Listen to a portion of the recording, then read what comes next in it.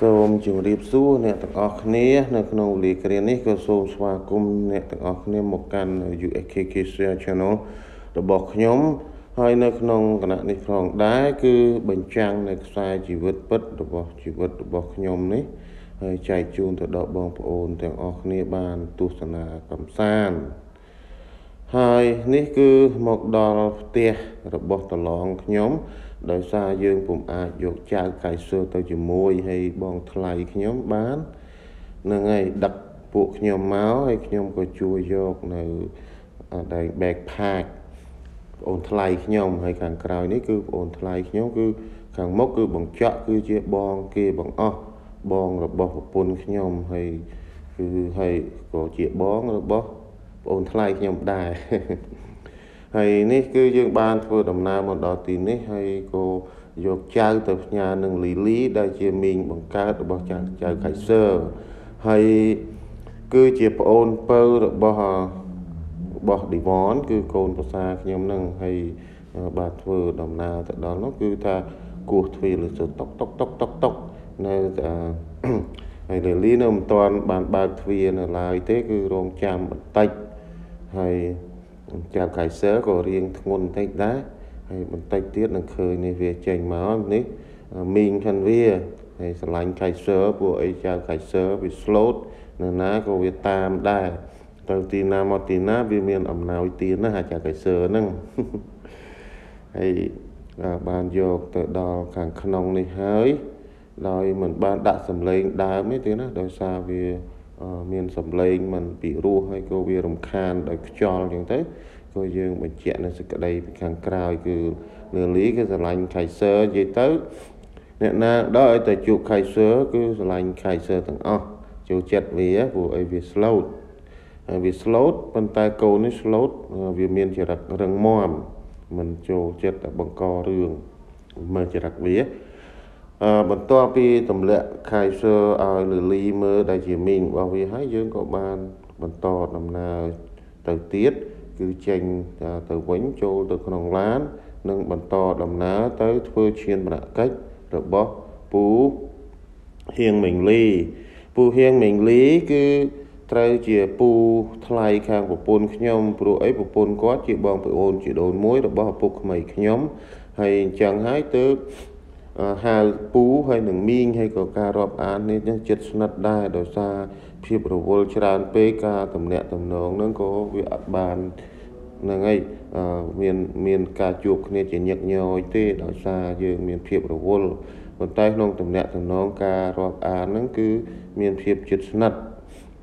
នឹងគ្នាគ្នានឹងគ្នាយើងមានទុកទរៈអីជួយគ្នាអញ្ចឹងទៅហើយប៉ុន្តែពូហៀងមេងលីគាត់ កើត stroke ឈឺអស់ពី10ឆ្នាំហើយដោយសារចុងក្រោយនេះគាត់កើតរាងកាយកោសិកាគាត់មិនអាចប្រឆាំងតទល់នឹងជំងឺ cancer បានដោយគាត់ស្លាប់ដោយជំងឺ cancer ហើយនេះក្នុងការបន្តដំណើរទៅទៀតហើយនៅ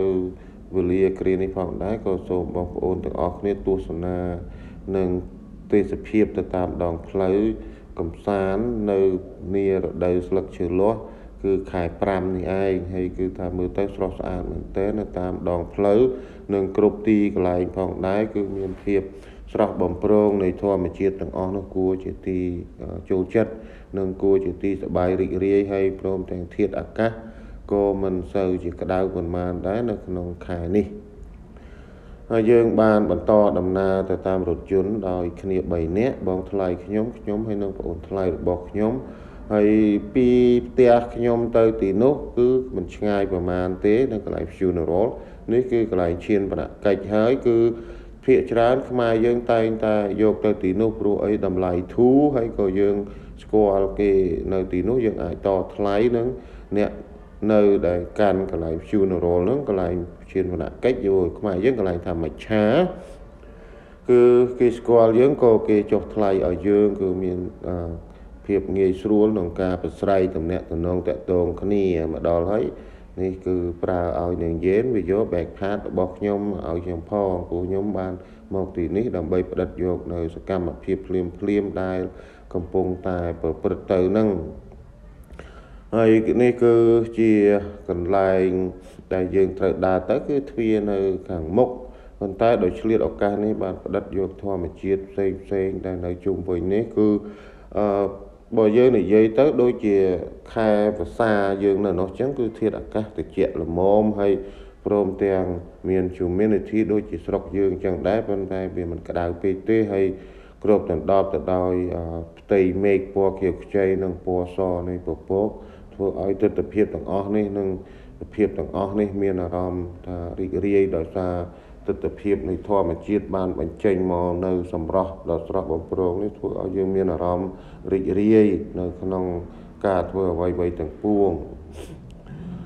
ហើយនេះក៏ក៏ខ្ញុំព្យាយាមថតនៅទេសភាពទាំងអស់នេះដែរដើម្បីចែកជូនទៅដល់អ្នកទាំងអស់គ្នាដែលមិនបានទៅកាន់នៅទីនោះឲ្យបានទស្សនាគឺនៅក្នុងសហរដ្ឋអាមេរិកនៅកន្លែងដែលធ្វើជានកិច្ចគឺមានការតុបតែងលម្អស្អាតណាស់ហើយនេះគឺជាឡាន COVID របស់អ្នកដែលចូលរួមក្នុងក្នុងការធ្វើឈានវណ្ណកិច្ចហ្នឹងហើយបងខាងនេះក៏ស្គាល់គាត់ដែរហ្នឹងហើយក៏និយាយលេងជាមួយគាត់គឺសិតតែអ្នកភូមិផងរបងជាមួយអ្នកដែលស្គាល់នៅពូហៀងពូហៀងគឺគាត់តាំងទីលំនៅនៅទីនេះគឺតាំងពីឆ្នាំ81ម្លេះគឺគាត់មិនបានរើទីកន្លែងទៅទីណាទីណាទេ ហើយដោយសារក្នុងវេលាគ្រានេះក្នុង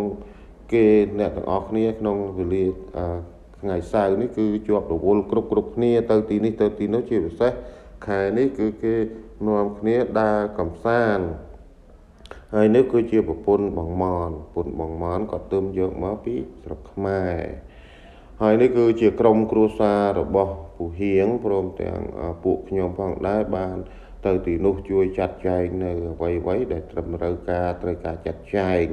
ហើយនេះកណ្ណការអឺគឺទៅអ្នកទាំងអស់គ្នានោះគឺដូចជាបងប្អូនរបស់ខ្ញុំជិតស្និទ្ធមានភាពរាប់អានគ្នាស្គាល់គ្នាជិតស្និទ្ធទុកទរៈអីជួយគ្នាចឹងទៅប៉ុន្តែកណ្ណការហើយនឹងសំណាង ដែលជាកូនច្បងរបស់ពូហៀងដែលជាប្រពន្ធទី1ហ្នឹងនេះគឺសំណាងហើយគឺនៅឯចរចាឯណោះ ហើយបានធ្វើដំណើរមកតាំងពីម្សិលមិញខ្ញុំខំអីជួបតាំងពីម្សិលមិញសំណាងដោយសារខ្ញុំរវល់ដើម្បីកាយកាប់ចំការនឹងធ្វើឲ្យហើយដើម្បីកុំឲ្យវាមានបន្ទុកនឹងទៅណាវាមានការគិតសាញម៉ាញច្រើនហើយនេះគឺជាផាន់រ៉ាផាន់រ៉ាគឺជាកូនកូនរបស់ពូហៀងកូនគាត់ទាំងអស់មាន3នាក់គឺប្រុស2 ស្រី1ផាន់រ៉ាគឺជាកូនទី2និងនីគឺជាកូនទី1ហើយនិងរ៉េតគឺជាកូនទី3ហើយរ៉េតគឺបានការជាមួយជនជាតិអាកាំងបានទៅនៅឯ Mount Holly នោះប៉ុន្តែมันឆ្ងាយពីទីក្រុង Charlotte ប៉ុន្មានទេទៅនៅខួរផ្សារខាងស្រីហើយអ្នកទាំងអស់គ្នាមើលនៅក្នុងកន្លែងឈានវណ្ណកិច្ចពលគឺកន្លែងរោងគឺមច្ឆាគឺយើងថាមច្ឆាអញ្ចឹងណា នៅក្នុងសហរដ្ឋអាមេរិកខ្ញុំបានបានជម្រាបបងប្អូនទាំងអស់គ្នាហើយថានៅទីនេះគឺគេចាត់ចែងរៀបចំយ៉ាងស្អាតគឺគេមានការគោរពចំពោះអ្នកដែលបានចែកឋានទៅហើយនឹងគេគោរពចំពោះសាកសពដែលយកនាំយកទៅទីនោះគឺមានភាពគោរពណាស់គឺគេទោះបីតែយើងបាក់ឡានក៏ឃើញអ្នកហែសពក៏ត្រូវតែគោរពដែរ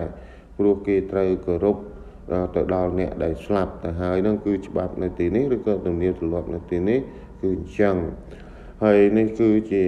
សពរបស់ពូហៀងដែលគាត់បានស្លាប់នៅខែ4ថ្ងៃទី23វេលាម៉ោង8:05នាទីល្ងាចហើយដោយសារមានកិច្ចទុរៈរវល់នៅក្នុងទីនេះផង ហើយក៏គ្មានភិក្ខុសង្ឃដើម្បីនិមន្តធ្វើបុណ្យទិសចំពោះគាត់ផង ប្រពនៅកម្មវិធីបុណ្យសពនេះផងក៏ទុកគាត់នៅយូរបន្តិចប្រហែលជា3អាទិត្យទើបយើងបានយកគាត់ទៅបូជាប៉ុន្តែនៅស្រុកនេះគេរក្សានៅសាកសពខ្លួនប្រានអីមើលទៅឃើញថានៅស្រស់បំព្រងដដែល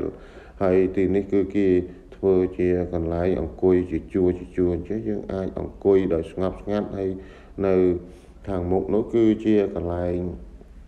វេទិកានៅការនិយាយអត្ថាធិប្បាយនិងសម្ដែងនៅទឹកចិត្តអ្វីអ្វីគឺមានម៉ៃក្រូហ្វូនអីគេរៀបចំទុកជាស្រេចហើយក៏បណ្ដាបណ្ដាអ្នកដែលទៅគោរពទៅដល់ពុហៀងសាកសពពុហៀងជាចុងក្រោយនឹងនិយាយលាគាត់ឃើញគាត់ជាចុងក្រោយ បានយកផ្កាម្នាក់ម្ដុំម្នាក់ម្ដុំដែលពួកយើងបានរៀបចំចងជាធូបហើយនឹងទៀនផ្កាទុកសម្រាប់ពួកគាត់ ដើម្បីយកទៅគោរពនិងនឹងលាហើយនឹងឃើញនៅពុហៀងជាចុងក្រោយ គឺនេះគឺជាចៅរបស់គាត់ព្រមទាំងចៅបង្កើតរបស់គាត់ព្រមទាំងកូនរបស់គាត់ហើយមួយកដាលស្ដើងនោះគឺជាចៅរបស់គាត់ហើយហើយនេះគឺជាចៅចៅរបស់គាត់ហើយចំណែកខាងនោះគឺជាកូនប្រសារបស់គាត់ហើយមួយឈរដែលកាត់សក់ឡងសុង កងលហ្នឹងគឺគឺរ៉េតរ៉េតហ្នឹងគឺវាជាកូនពៅគេបង្អស់ហើយក៏ប្រពន្ធវាហ្នឹងខាងក្រោយហ្នឹងគឺអាកៀងហើយអាកៀងហ្នឹងវាមានចរិតបុរាណល្អហើយក៏វានៅខាងផ្នែកស្រុកស្រែដែររ៉េតក៏វាទៅនៅជាមួយនឹងដែរហើយនេះគឺទស្សនវិជ្ជាទាំងអស់ទាំងស្រុងនៅកន្លែងឈានបណកិច្ចដែលគេបានប្រជុំគ្នានៅទីនោះហើយទៅនៅទីនោះក៏និមន្តព្រះសង្ឃផងដែរដើម្បីទៅសូត្រនៅ ដូចជាសូត្រអធម៌សង្វេកហ្នឹងហើយធម៌ដែលសង្វេកគឺព្រះអភិធម្មហ្នឹងដូចជាអនិច្ចាវតសង្ខារាអីចឹងទៅដើម្បីអសូត្រ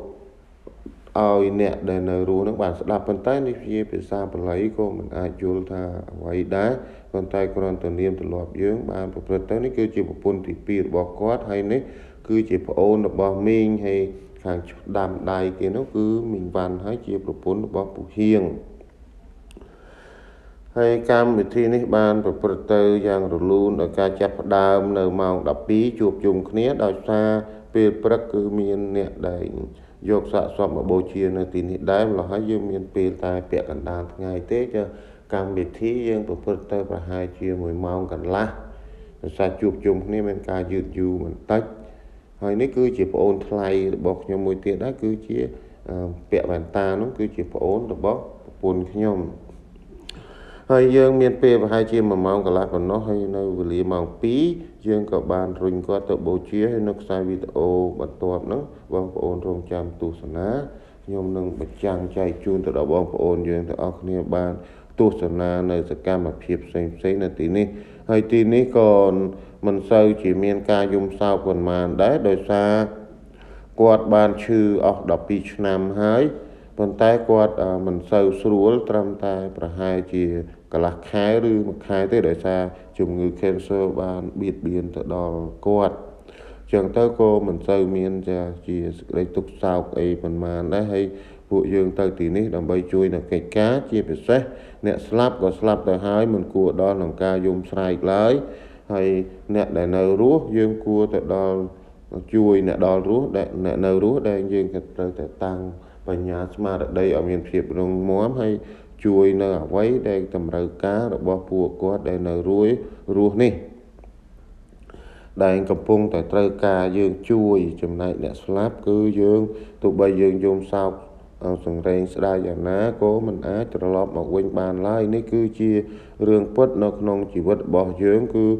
វល់វល់វល់វល់ដូចជាថ្ងៃរះហើយសម្រាប់ថ្ងៃលិចថ្ងៃរិចហើយសម្រាប់ថ្ងៃរះ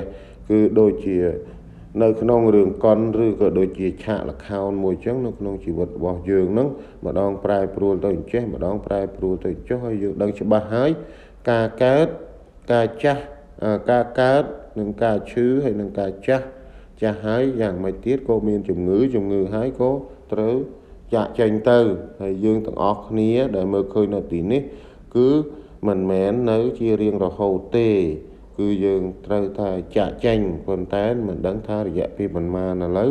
ដល់ពេលដែលលោកប្អូនសារាវុធសំដែងនៅធម៌កថាសង្វេកធម៌កថាដើម្បីសំដែងនៅ អំពីពុទ្ធដីកាចឹងបងប្អូនទាំងអស់គ្នាក៏សូមស្ដាប់ធម៌ទេសនាកថាខ្លីៗដូចតទៅ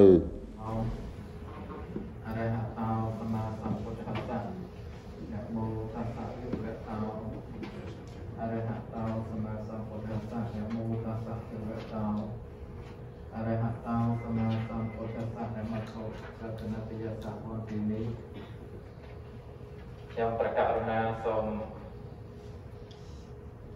លំអត់លំអងកាយថ្វាយបង្គំនមស្ការទៅដៅចំពោះប្រជុំ3នៃព្រះរតនត្រ័យគឺព្រះពុទ្ធរតន1ព្រះធម្មរតន1ព្រះសង្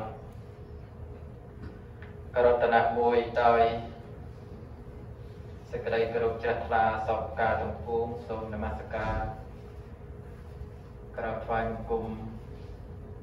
អង្គគ្រូទាំង3អង្គដោយសេចក្តីគោរពកោតក្រែងសូមចម្រើនពរញាតិញោមពុទ្ធបរិស័ទក៏ដូចជាញោមក្រុមគ្រួសារនៃសពដែលមានវត្តមាននៅក្នុងទីនេះដើម្បីចូលរួមរំលែកទុក្ខ ដល់ក្រុមគ្រួសារនៃសពដែលមានលោក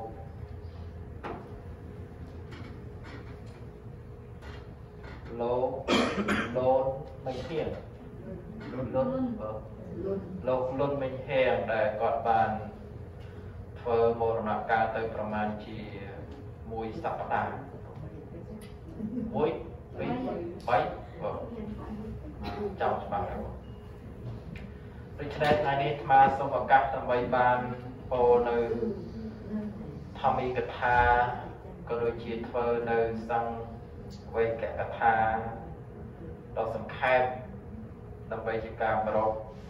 នៅក្នុងពិធីបុណ្យជាបណកិច្ចដែលនឹងត្រូវរំលាយសពលោកលុនមេហៀងនៅពេលបន្តិចទៀតនេះ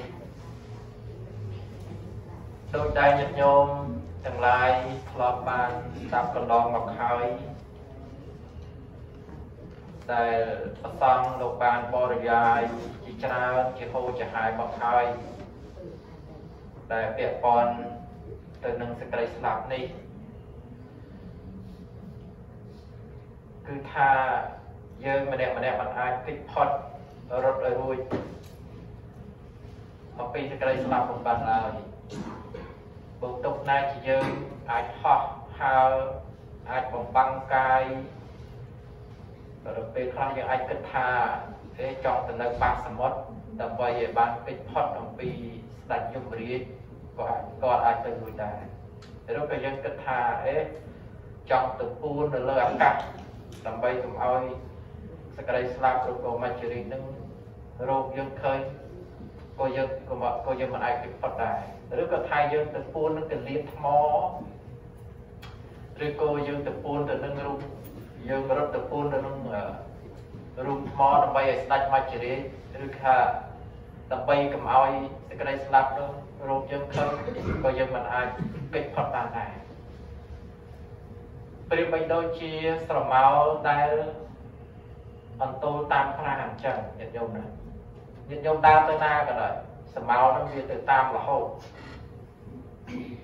ញាតិញោមថាអេកុំឲ្យស្រមោលនឹងទៅតាមអត់ទេទៅដល់កន្លែងណាក៏ស្រមោលនឹងទៅតាមដែរយ៉ាងណាមិញសេចក្តីស្លាប់នេះក៏ដូចគ្នាដែរយើងទៅដល់កន្លែងណាសេចក្តីស្លាប់នឹងក៏ទៅដល់កន្លែងនឹងដែរលោកព្រៀបសេចក្តីស្លាប់នេះឬក៏ថាស្ដេចមច្ចរាជនេះ the king of death ហ្នឹងស្ដេចមច្ចរាជគឺព្រៀបបីដូចជាស្ដេចមច្ចរាជដែលមានដាវដ៏មុតហើយតម្រង់កយើងសម្រាប់យើងបានគ្រប់ពេលវេលាញាតិញោមឲ្យតែលហឹកណាដែលយើងមានការខ្វះប្រហែសឬក៏មាននៅសក្តិសមាធិគឺថាស្ដេចស្ដេចមច្ចរាជហ្នឹងគឺថាអាចសម្រាប់យើងគ្រប់ពេលវេលា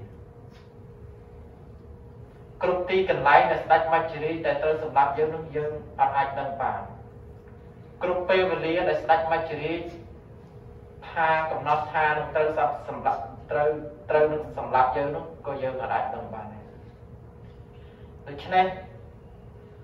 ខ្លួនយើងនេះមិនមែនជា សភាវៈមួយដែលស្ថិតនៅក្នុងអំណាចនៃការបង្កប់បញ្ជា លើខ្លួនយើងបានទេអ្វីដែលអ្នកបញ្ជាយើងនោះអ្វីដែលឃុំក្រងយើងនោះគឺស្ដេចមច្ចរាជ the king of death គឺថាយើងសាកស្រមៃមើល តើយើងអាចដឹងទេថាតើយើងយើងស្លាប់នៅកន្លែងណាតើម៉ោងប្រមាណដែលយើងត្រូវស្លាប់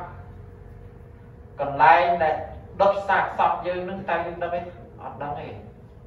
អត់ដឹងតតែសោះដូច្នេះហើយបានជាក្នុងពុទ្ធសាសនាបានព្រានបដៅថាកុំចាំដល់ចាស់ចាំនាំគ្នាទៅវត្តហើយទៅធ្វើបុណ្យពីព្រោះអី យើងមិនអាចមើលឃើញអំពីសេចក្តីស្លាប់របស់យើងបានចេះចុះបើយើងថាចាំចាស់ចាំទៅវត្តចាំធ្វើបុណ្យចុះបើយើងស្លាប់ពីក្មេងអាការស្លាប់វាអត់វាអត់ប្រកបវាអត់ទៀនថាយើងស្លាប់ពេលណាមួយយើងអាចកំណត់អំពីជោគវាសនាជីវិតយើងរបស់បានជីវិតរបស់យើងបានទេដូច្នេះហើយយើងបានជានៅក្នុងពុទ្ធសាសនាឲ្យព្រានបដៅថាយើងត្រូវខំធ្វើបន់យើងកុំមាននៅសេចក្តីប្រមាទ កាលណាបើយើងមាននៅសេចក្តីប្រមាទយើងខ្វាច់ប្រហែលហើយជួនកាលយើងស្លាប់ពីក្មេងទៅជួនកាលយើងស្លាប់ពេលចាស់ទៅវាអត់អាចមើលឃើញមែនព្រោះថាអំណាចនៃរូបរាងកាយរបស់យើងនេះវាមិនមែនស្ថិតនៅក្នុងអំណាចរបស់យើងដែលយើងអាចបង្កប់បញ្ជាបានទេពេលដែលត្រូវឈឺក៏វាឈឺចឹងទៅនៅសក់សក់ចឹងទៅក៏ឈឺចឹងទៅនៅសក់សក់ទៅក៏ ស្លាប់ទាំងបេះដូងទៅវាអត់វាអត់ដឹងអញ្ចឹងញាតិញោមណាការទៅស្លាប់អាការស្លាប់នោះមានច្រើនប្រភេទច្រើនស្ថានណាអ្នកស្លាប់ដោយសារអ្នកខ្លះស្លាប់ដោយសារកាំងបេះដូងអ្នកស្លាប់ស្លាប់ស្លាប់ដោយសារកើតរោគក្រំរ៉ៃទាំងឡាយផ្សេងផ្សេងអ្នកខ្លះទៅក៏ស្លាប់ដោយការ accident អញ្ចឹងទៅអញ្ចឹងយើងអត់អាចអត់អាចកំណត់ដឹងបានទេអញ្ចឹងបានជាយើងកុំគិតថាចាំចាស់ចាំធ្វើបន់អត់ទេ យើងកាលណាបើយើងគិតយ៉ាងហ្នឹងយើងមាននៅសេចក្តីប្រមាទដូច្នេះយើងត្រូវខំធ្វើបន់ពីក្មេងយើងទៅបងអ្វីដែលយើងអាចធ្វើទៅបានតាមលទ្ធភាពដែលយើងអាចធ្វើទៅបានហើយយើងត្រូវសង្វេគចំពោះជីវិតនេះថាវាតិចអបង្វតជីវិតាំងអ៊ីទាំងលោកស្ដែងថាជីវិតនឹងវាតិចណាស់អបៈនឹងវាតិចណាស់អោរាំង វាសសតាពេកមយតិសត្វទាំងឡាយហ្នឹងគឺស្លាប់ថយតែស្លាប់ថយពី100ឆ្នាំញាតិញោមព្រោះបើយើងនិយាយពីជីវិតរបស់យើងរាល់ថ្ងៃសពថ្ងៃនេះ human being រាល់ថ្ងៃហ្នឹងមានអាយុតែរាប់តាមពុទ្ធសាសនាតែ74កន្លះទេញាតិញោមណា ដូច្នេះបើជាញាតិញោមមានសំណួរសួរថ្មចុះអ្នកខ្លះរស់ដល់80អ្នកខ្លះរស់ដល់90 100នោះស្អីគេវិញថារស់ដោយបន់គឺរស់លើកពីអាយុកាប់ញាតិញោមណាកាប់ហ្នឹងមិនមែនយើងយើងចង់កាប់តែកាប់ដីមកកាប់ហើយយកដីមកអត់ទេកាប់នៅក្នុងទីនេះគឺកំណត់អាយុក្នុងពុទ្ធសាសនាមនុស្សយើងរាល់ថ្ងៃជាមធ្យមគឺ74ដុល្លារតែត្រូវរស់ហ្នឹងញាតិញោមណាចឹងស្លាប់ហើយ អបវតជីវិតាំងឲ្យទាំងអរងវាសសតាពេកមយតិបើរស់ពីលើសពី100ឆ្នាំចាំមិនតែញាតិញោមបើរស់ពើរស់រស់ពើរស់លើសពី100ឆ្នាំសត្វនោះនឹងស្លាប់ដោយជាដោយជារាជាជាមិនខានប៉ុន្តែសត្វតែស្លាប់ថយពី100ឆ្នាំអរានវសសតាពេកមយតិសចេពេកអតខោសោចេរសាពេកមយតិ ប្រសិនបើសត្វនោះរស់លើសពី100ឆ្នាំអតខោពេកចេរសាពេកសត្វនោះនឹងស្លាប់ដោយជារាជាជំងខានញាតិញោមស្គាល់ជារាក៏ជារាចាស់ក្រំគ្រាញាតិញោមជារាកើតអំពីរោគ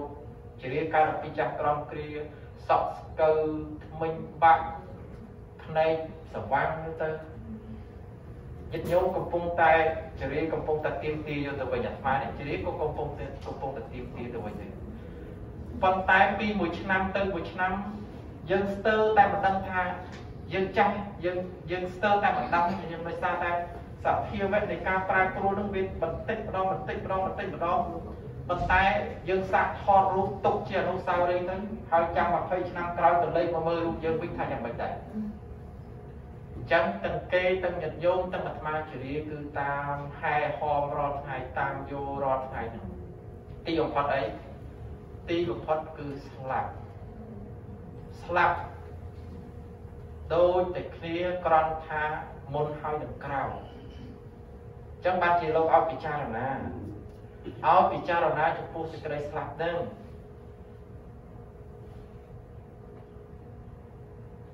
យើងត្រូវទទួលស្គាល់ចំពោះសេចក្តីស្លាប់នឹងអ្នកណាក៏ស្លាប់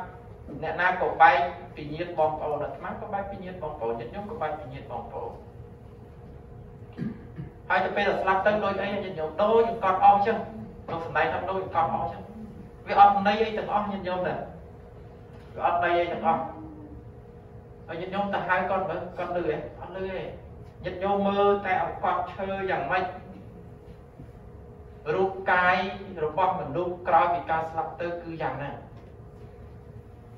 គឺយ៉ាងនឹងដូចជាកត់អស់រោគប្រយោជន៍គ្មានទេអ្វីដែលមានប្រយោជន៍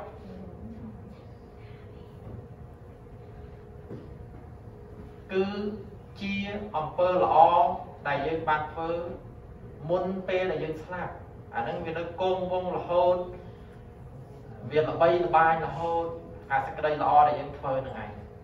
ប៉ុន្តែรู้ថាតើរូបកាយនឹងមានន័យទេសាកសពនឹងមានន័យអត់ន័យទេនៅក្នុងសម័យព្រះពេលដែលមានមនុស្សស្លាប់ក៏យកទៅចោលក្នុងព្រៃស្មោសាដែរញាតិញោមគេរុំតែកណាត់កណាត់ទៅទៅរួចទៅចោលក្នុងព្រៃស្មោសាទៅទៅឲ្យឲ្យសត្វស៊ីទៅចោលតែពីវាពីកាយព្រោះវាគិតថាចោលសត្វស៊ីវាមានប្រយោជន៍បានសត្វស៊ីប៉ុន្តែមកឥឡូវនេះ គឺយើងមិនអាចធ្វើអញ្ចឹងបានទេពីព្រោះវាយោងទៅតាមទម្លាប់ប្រពៃណីរបស់ប្រទេសមួយមួយប្រទេសមួយមួយដែលត្រូវធ្វើប៉ុន្តែពិធីបូជាសពមាន4ញាតិញោមណាទី1កប់នៅក្នុងដីចិនគេនិយមកប់នៅក្នុងដីព្រោះគេជឿថាដីវាតិចជុំមកកន្លែងខ្លះវាហុកស៊ុយទី2អឺចោលក្នុងព្រៃស្មោសាដោយតែដោយ អាហ្នឹងមានតែក្នុងសម័យព្រះទេគេគេគិតថារូបកាយចោលក្នុងព្រៃវាប្រសើរជាងតែយើងយកកប់ចោលដុតចោលវាបានសត្វស៊ីវាអត់ន័យទេអានេះទី2ទី3បណ្ដែទៅតាមទឹកស្ទឹងកង្គៀដោយគេយល់ឃើញថានៅក្នុងទន្លេកង្គៀស្រុកឥណ្ឌាសប្តាហ៍ថ្ងៃនេះគេគឺបណ្ដែចឹងអាបីនេះនឹងចប់ដល់សប្តាហ៍ថ្ងៃហ្នឹងដុតសសសសពលៈទឹកគ្រូដោយគេជឿថាមិនញឹកញោមហ៎ គេជឿថាទឹកនឹងអាចនាំពលឹងវិញ្ញាណរបស់មនុស្សដែលស្លាប់ទៅកើតឋានសួគ៌បានអានឹងនៅក្នុងប្រទេសឥណ្ឌាសពថ្ងៃហើយទី4គឺការដុតចោលដុតដែលហៅថាបូជាជាបណកិច្ចបូជាសពអញ្ចឹង4ញាតិញោមណាដែលពិធីដែលត្រូវទុកដាក់សាកសពហ្នឹងប៉ុន្តែខ្មែរយើងនិយមជាងគេអីញាតិញោមគឺដុតចិននិយមជាងគេគឺអីក ប់ប៉ុន្តែដោយសារប្រជាជនចិនរហ័យច្រើនពេកអញ្ចឹងអាចដុតខ្លះកប់ខ្លះអញ្ចឹងដោយសារច្រើនពេករួកន្លែងកប់អត់បានអញ្ចឹងខ្មែរយើងភាគច្រើនដុតហើយភាគច្រើនកប់ហើយ20ឆ្នាំក្រោយលើកមកដុតដែរយកធាននឹងដាក់ក្នុងកោបហ្នឹងទៅចឹងត្រឡប់ខ្ញុំវិញញាតិញោមដែលបានអញ្ជើញចូលរួមនៅក្នុងពិធីបុណ្យសពនេះគឺជារឿងដែលសំខាន់បំផុតដែលញាតិញោមត្រូវចូលរួមរំលែកទុក ពិចារណាមិនមែនចេះតែមកមិនមិនមែនចេះតែមកមកទេណាញាតិញោមណាមកហើយត្រូវពិចារណាពិចារណាយកជាអារម្មណ៍នៅក្នុងចិត្តដូចជាញោមដែលគាត់ស្លាប់ទៅអញ្ចឹងពិចារណាអូអញទៅទៀតគឺអញ្ចឹងអញទៅទៀតគឺបែកទៅគាត់អញ្ចឹងយើងយកមកជាអារម្មណ៍គិតអារម្មណ៍មកពិចារណាមកជាអារម្មណ៍អំពីមរណានុសតិការយកសេចក្តីស្លាប់ជាអារម្មណ៍ពិចារណា សត្វទាំងឡាយទៀងតែនឹងស្លាប់គ្រប់គ្រប់គ្នាព្រោះថាជីវិតរបស់សត្វទាំងឡាយសុទ្ធតែមានសេចក្តីស្លាប់នៅខាងចុងបំផុតគ្រប់គ្រប់ប្រាំងអញ្ចឹងយើងពិចារណាមកយើងអាចលះបង់នៅអសក្តីទុកសោករបស់យើងខ្លះបើទុកណាជាយើងមិនលះបានទាំងអស់ក៏បានខ្លះក៏ឈ្មោះថាភាសាដែរញោមប៉ុន្តែបើសិនយើងអត់បានពិចារណាទេណាពេលណាដែលយើងបែកបាក់ពីសាច់ញាតិបងប្អូនយើង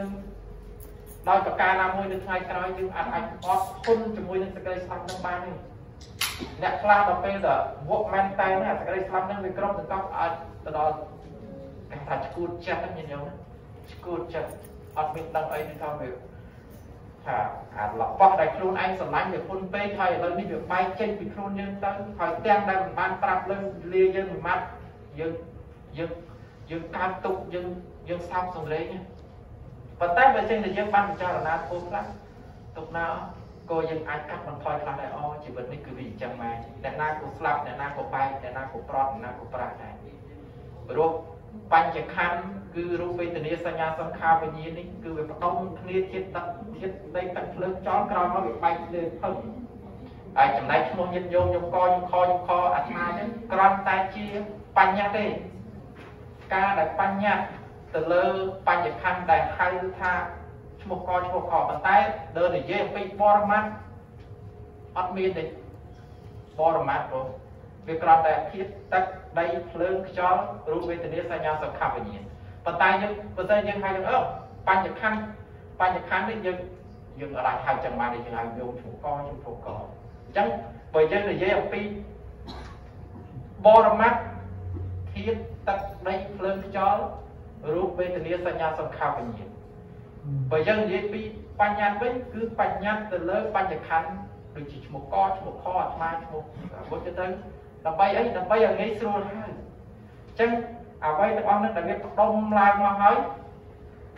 វាបែកទៅវិញទោះតែណាបង្កើតវាជាធម្មជាតិចឹងវាបែកទៅវិញតែឈ្មោះឈ្មោះកឈ្មោះខវាក្រំតែជាការបញ្ញត្តិទេអញ្ចឹងញាតិញោម ពិចារណាខ្លឹមសារនេះធម៌ប៉ុណ្ណឹងទៅអាត្មាក៏មិនបានអីឲ្យខ្វះក្បាយទេដោយសារពេលវេលាយើងមានកំណត់បងដូច្នេះសូមញាតិញោមទាំងអស់អនុមោទនី